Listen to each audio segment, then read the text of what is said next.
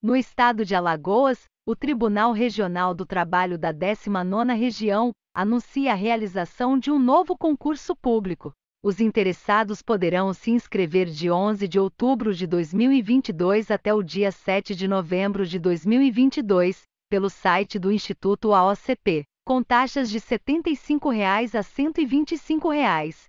Este concurso público terá validade de dois anos. Acesse nossa loja virtual através do link na descrição para ter acesso ao edital e material para todos os cargos deste concurso.